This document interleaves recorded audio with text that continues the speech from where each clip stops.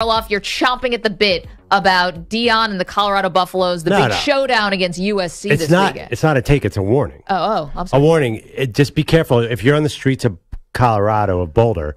Be careful because are going to be people jumping all over the place off the Colorado bandwagon. that massive. no. Oh, it is going to be. It's going to be an exodus like you've never seen. Uh, the 12 million Biblical? viewers.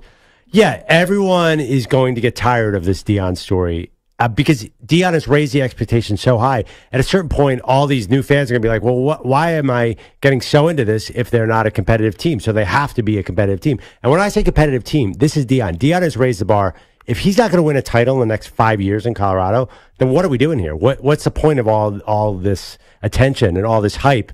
He has set a very high bar, and I think that that's a very dangerously high bar because it's hard to win a national title. Okay, but you have other coaches who are all time coaches who Yeah. we respect, who we think are great, who have not won national titles. Not in college football. Who? Uh, Jim Harbaugh, uh, Oh, Ryan Day, Jim Harbaugh. uh, Brian Kelly. There are Ryan guys- Day. Ryan Day is in big trouble in Big Ohio trouble. State. They just won in Notre Dame. And Stu's wearing his Irish T-shirt today. Stu, I don't know why you're doing that, but anyway, I, I just think Support the team. Well, at least those- okay, those guys- are good coaches. they who got are to a national coaches. title games, except for Harbaugh. Okay, those are good coaches who are lifer coaches and guys who have built respectable programs. And just because they haven't won a national title doesn't mean that people don't think they're great coaches. Are you seeing a national Lincoln bandwagon? Riley is another one. Is Ryan Day leading every single sports center today? Are people all talking about let's tune in for Ryan Day? Well, if he keeps this, calling out Lou Holtz. this uh, well, that was actually pretty good Ryan Day. but I'm just saying, all this whirlwind of excitement around Deion.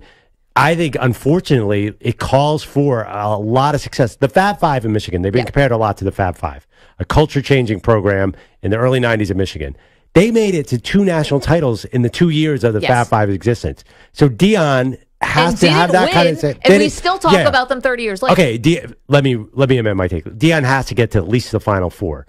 Uh, Well, it's going to be 12. yeah, no, oh, but no, he's got he's got to go he's got to get to the title game. win win games in the college and football even playoff. so, I don't think the twelve is a guarantee because we don't really know what this program is. I mean, I think he has a great chance. He's got a lot of advantages, but Going I to do the Big think 12 next year. I just think that he talks such a big game that he's got to deliver a big game. So I think in the short term, if they get blown out by USC, which I don't think is a guarantee at all, if they get blown out in the short term, I think the interest is going to fall fast. I think that bus is going to empty out quickly. He'll still be very interesting, Yeah. but I don't think the the celebrity list that we have for this week's game, I don't think it'll be anything like that at the end of the season unless they keep winning. Because I think those three that three and zero start is what really kicked this into high gear. yeah, it's like the best thing that could have happened to them, but maybe the worst because now the expectations are so high. But I, I still think you're going to get the celebrities. First of all, Deion's a cultural phenomenon. He has been since he played. A two sport athlete at that high level, how he was high stepping, had his own dances, like all of the stuff that we've been watching Deion. Basically, my whole life, Deion Sanders has been a famous person in my life. He already brings that with him, which is the baggage that he calls Louis Vuitton, right?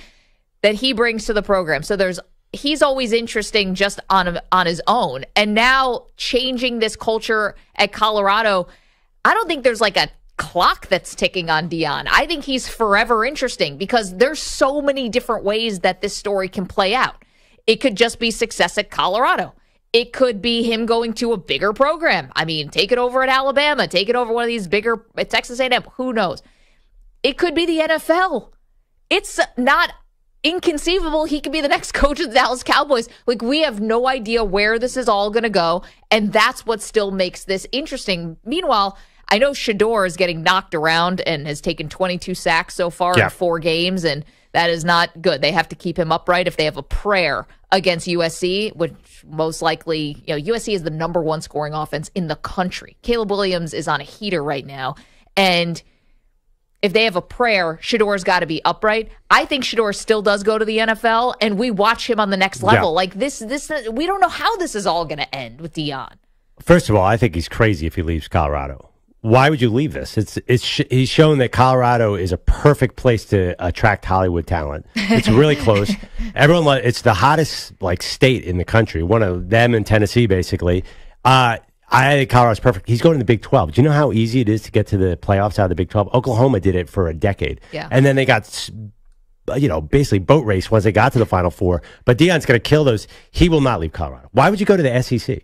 Why why would he do that? Why why get jump into that pool when you have your own pool that you completely own? Uh, money. I mean, money. I don't think he can. No, uh, like I, I don't know. Colorado when they signed Deion, Yeah. even said like they're like, "Do you have the money?" They're like, "We don't have it yet. We'll have it." Like, "Hey, can I pay you next Thursday?" Like that was the sort of vibe with Colorado where. Uh, Can you imagine like A and M? They could basically, if they wanted to, they could pay Jimbo Fisher eighty million dollars to go away. Well, I I'm mean, just saying if if they if he goes to A and M, then it's just going to be another setup for disappointment because I just think that'll that is a probably for no, it's a great Yeah. for instance. I honestly think I think they should watch A and M carefully because A and M could steal their offensive coordinator any day now.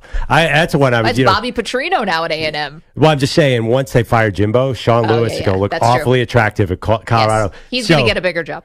Well, I wonder, or but there is a loyalty to Deion. I think Deion's got a great formula here at Colorado. I don't think he needs to change this at all. But I do think that he's bringing all these fans who who probably aren't the world's biggest college football fans, just be, who are going to be like, well, we're going to win a title. Like Deion's the best, right? So we're going to go eleven and one and be in the title game.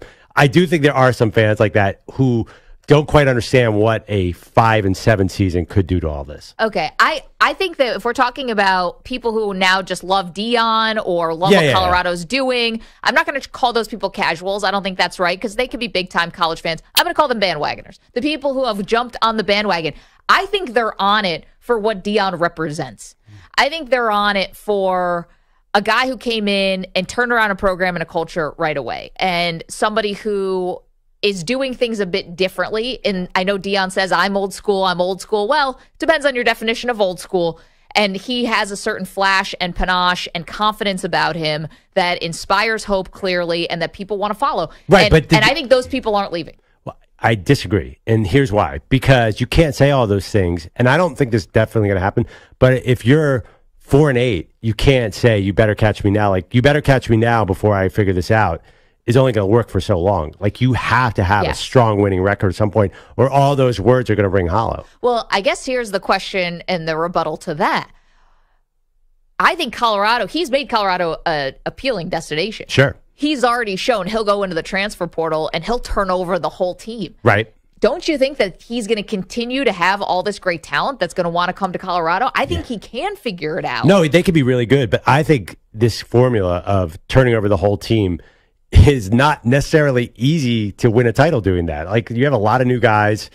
I I think that it's going to be interesting to see how he plays this. Like, is he going to build an offensive line and defensive line? You can't get 70 new players every year No, and no, build no. anything. No, I know, but it's going to be really weird. So the other thing too is college football is a very reactionary sport. Other teams are going to like try and replicate his formula too and go heavier. I mean, Lincoln Yeah, Riley but they don't have brought- like the panache that. well, I mean, USC brought in a gigantic recruiting class, uh, transfer because class, Lincoln Riley had a high profile. right? And it only worked to a certain extent. It's it hasn't been proven that you yet. I don't think maybe I'm wrong, but you can't necessarily bring in 70, 70 transfer portals and have an instant team. So There's I- no excuse not to try now. well, Georgia. I mean, I don't. Georgia definitely uses transfers, but I don't think they. You know, it seems like there there's a mix. You have to build a team as well, and also Deion will be the first to tell you. You clearly have to build the trenches. I'm not sure that that's necessarily. I think a transfer portal. I think a wide receiver. I think of Jordan Addison. Yeah. I think of Travis Hunter. I don't really think of like the meat and potatoes thing. Whatever Georgia's doing. Like that's the thing. Like as good as he gets, like is he going to be able to beat Georgia? Is he going to be able to beat when Alabama figures it out? Is he going to be able to beat Ohio State and Michigan? Like there's a there's a lot of mountain left to climb, and I feel like some people act like Deion's already at that top of that mountain. Well, I think Dan Lanning, the Oregon coach, my Ducks, of course, as I'm on the bandwagon this year for Oregon, picked a heck of a year, by the way. Uh, Dan Lanning, I thought, summed it up when he talked about Deion's impact, and this is after the game, after they beat them 42 to 6. I'm also grateful and, and can clearly acknowledge that the attention that we got this Saturday, in large part, was due to Deion and what he's doing to college football. And if anybody can't see what he's done for college football and how he's bringing excitement to college football, you're crazy. Um, he's done a lot for the game. He's, he's building something over there. I think that's really, really clear. The dude's the king of the sport right now. And so anything about transfer portal or he's going to have the pick, I, I think people are are really they're buying what he's selling clearly. Do you And really? Do, when you say he's the king of the sport, what does that mean? I think that he- if you had all the coaches in one room, like a big coaching convention for college football, I think Deion's the most popular guy in that room. Definitely, but does that make him the king?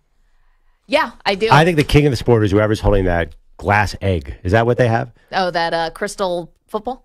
Yeah, I They think don't have that anymore. I think there's a reason Nick Saban is you know Nick Saban because he has multiple ones of those. I honestly Deion might be the most popular. He's certainly going to be the most covered, but I think that doesn't. It's different. You got to win a title. I mean, Coach K is not Coach K because he's got a funny last spell. Like you got to win a title at some point. And I think Deion, when I say the clock's running, like Deion's got to. He keeps raising the bar, raising the bar, raising the bar. At a certain point, like this has got to work. I mean. Fab Five, if you want to make that comparison, they made the national title game the first two years. That's incredible. Is Deion anywhere close to that? No, but they didn't win. Yeah, they, but they so made what? the title I mean, game. They didn't win. Making and the national title game in college basketball, Deion, his team might be 500. Who knows? Brian Kelly got to the national title game Yeah. with Notre Dame, and they got destroyed by Alabama. Right. People still love Brian Kelly. He's still Right. got $100 million to go to LSU. Like, Yeah, I mean, Jim Harbaugh went to the college football playoff and lost to TCU. People still think it hold him in, in high esteem.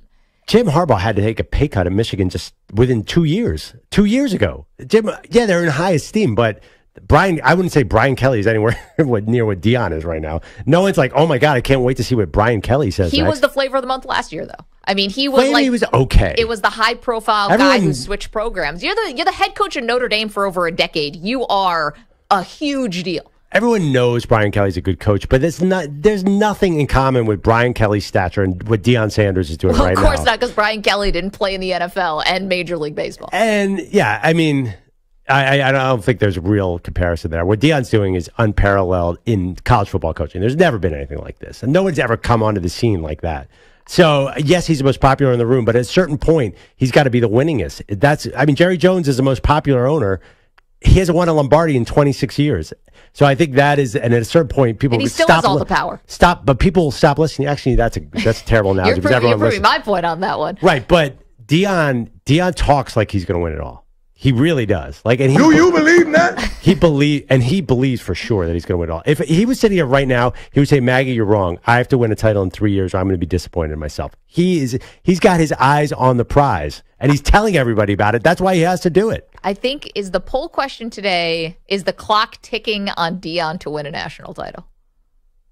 Well, I think At it- Maggie and Pearl. No, I think you have to be like, if Deion doesn't win a national title within five years, is he a success or a failure?